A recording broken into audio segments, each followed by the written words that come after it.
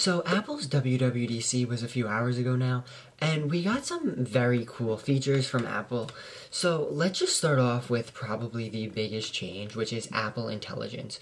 So this is essentially AI being brought into the iPhone, as Apple did partner with OpenAI to bring ChatGPT to the iPhone and to Siri. So Siri is going to be a lot smarter, and now it's only in beta and is coming later this fall and will be available only to iPhone 15 Pro users and Pro Max users. So if you have an A17 chip or an M1 iPad or later, which is definitely a very interesting take, but I honestly am not surprised that all the leaks and rumors did say Apple was going to keep this essentially top of the line, you need the Pro Max or Pro iPhone. Which is definitely going to be annoying if you don't have the phone, but right now in the beginning, I feel it's not going to be as needed. It's going to be once you experience it, you don't want to go without it, I feel like. As it's built right into your iPhone, iPad, and Mac OS, and it works with everything across the board as long as it's an M1 later or an A17 Pro or later. And you can do a bunch of things with AI, such as remove people from photos, remove, you know, objects from photos, mark up photos, write emails, write text messages, have Siri, you know, summarize this page, have it make it this email more formal, and do really anything you could want to do with it, which I just think is so cool that Apple is finally, you know, putting it in the door. They're coming out with generative emojis, so you can make essentially your emoji whatever you want and you can also make your own images as well. So you essentially have all the different versions of ChatGPT and DALL-E built into iOS, which is definitely going to be so cool. Now, Siri is going to be a lot smarter, which is definitely going to be so much nicer. We're even getting a new interface for Siri where it kind of illuminates the outside of your screen instead of just being a little globe, which I definitely think is nice. And you can also just tap on the, the bar at the bottom and search to Siri, which is definitely going to be nice. Now, all of this is encrypted, private. There is nothing being sent to a server. And if it is being sent to a server, it is a private cloud compute, which is something new Apple came out with as it's only used for your request and you can actually go in and verify how secure this is and security analysts and everyone can so you know how well everything is and how secure it is.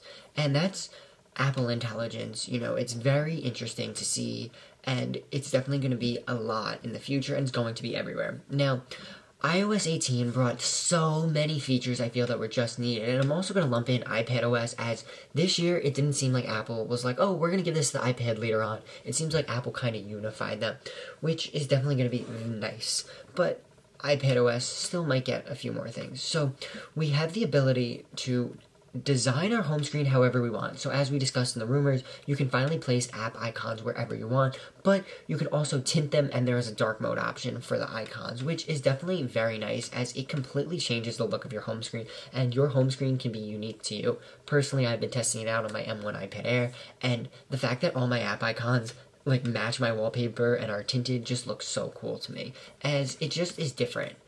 You can also now hide apps in a new hidden folder in App Library, which you need Face ID for to get into, which is definitely going to be a nice change as we can finally lock those apps that you might not want someone to get into, as you can hide them and you can lock them. You, we also got a completely redesigned control center, which is now like four pages long, and it definitely takes some getting used to.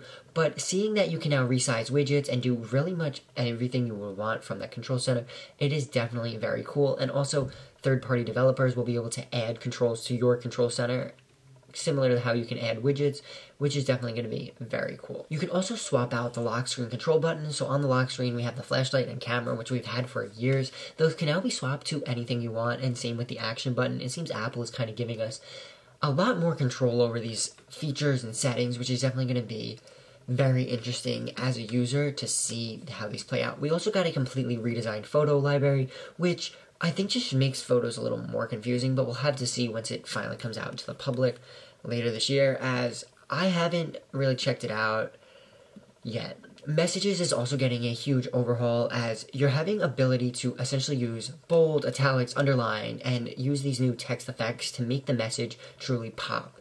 We also got tap back with emojis as well as a completely redesign of the thumbs up, heart, haha, thumbs down, uh, question, exclamation point, as those just look so much better now and kind of almost neumorphic, I believe it's called, which is the newer skeuomorphism, um, similar to how iOS 6 looked. Apple's kind of merging that, which looks very cool. We also got messages via satellite, so if you don't have service, you can now send your messages using satellite, which is definitely going to be very cool as you no longer need to kind of carry around a Garmin or a um, satellite phone, which is going to be so cool. We can also schedule text to send, which finally, it's just something that I feel took for so long, and we definitely have been waiting for. It. We're also getting RCS support, although that's not launching until later this year.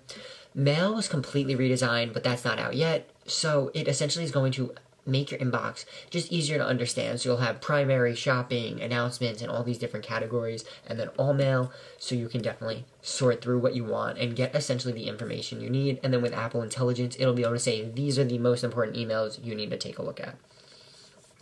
We also got a passwords app, which is essentially just moving the password section out of settings and adding a couple of other features and just makes looking at your passwords so much more streamlined. I have to say, having this on my iPad has just been such a game changer just because everything is just very easy to see. We also got topographical maps, and game mode is now being brought to the iPhone and iPad. There's also going to be the ability to tap to pay with cash. So if you want to charge someone, kind of like Venmo, you can just now tap your iPhones like you would with Name Drop. AirPods also got a big upgrade, so you can now shake your head if you want to answer, or shake your head if you don't want to answer a call, which I definitely think is very cool. That you can essentially using your head respond to, you know, Siri reading out, "Hey, incoming call from John," or whoever the case may be. There's now also voice isolation on the AirPod Pros, which will make it easier for anyone to hear you. Notes also got a pretty big upgrade, as you now have the ability to have live audio transcriptions and math built right in, so you can, you know, say this is sixty-two dollars, this is blah blah blah, and then it'll total it up. So you don't have to kind of go to all these different sections. You can also now collapse data in notes, which makes it a lot easier to be like, this applies to this, this applies to this, and just keep your notes easier. Journal got some updates, although I don't really know anyone who uses that. The Apple TV app also got a big update, as you now have the ability to call use Insight, as Apple calls it, and view kind of who the characters are in this scene, what this song is, and such, which definitely makes it very nice. Home app also got an upgrade, as you're going to be able to share access with guests, have express mode where you can just essentially, if it detects your U1 or U2 chip, you can just walk in to your house, which is definitely very cool.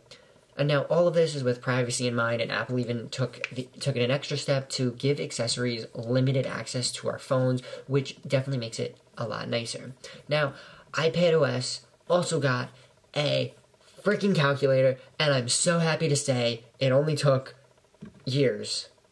It only took 2024 and AI, but we finally got a calculator. And now everything else comes over from iOS 18, as I said before. But another big thing is math in notes. So Apple really designed the whole calculator app on the iPad to have its own notes with math section, which is definitely very cool as you can do whatever your notes you want. And you can also write in your notes app or your calculator notes app and they sync together and it'll even try to mimic your handwriting so it looks like it was done by you which is so cool as using smart script as apple calls it. It uses machine learning to match your handwriting to what it might think it might look like which is very cool. We also got watchOS 11 which brought some great improvements to the apple watch although it also dropped support for some apple watches. So if you have a series 4 5 or an SE first generation, those are no longer supported, so you need a Series 6, 7, 8, 9, Ultra, Ultra 2, or an SE2 to use. But you can finally have the ability to pause our activity rings, and you can also set different goals for different days of the week. So if you're more active on Monday and Tuesday you're not because Monday you're working in the office and then Tuesday you're working from home, you can now set that accordingly. And I know personally I'll probably adjust it so on weekends my move goals are less, so I can still hit them. But knowing that I can also take a rest day and not lose out on my activity streak or anything and just kind of be like, I'm pausing it for the day because I'm on vacation or whatever it may be, will definitely be very useful to have just because of the fact that I no longer have to strive to hit that goal when it may not be attainable.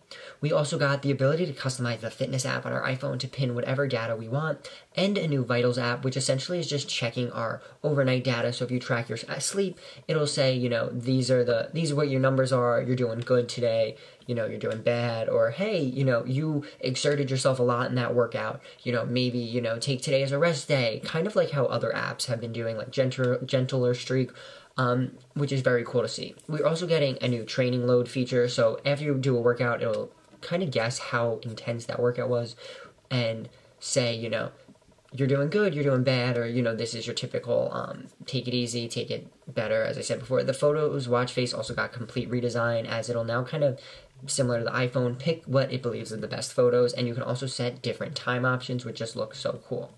The Smart Stack now have automatic widget suggestions similar to that of the iPhone. So if it sees it's going to rain soon, it can suggest that. If it sees your home, it can suggest, you know, to unlock the garage and stuff like that. You can also now set check-in um, from a workout. So if you're going on a run late at night, you can just swipe over and start a checkout. Double Tap is now also being opened to third-party developers. So third-party developers can implement it into their apps. You can just double tap if you have a Series 9 or Ultra 2 to do that in action.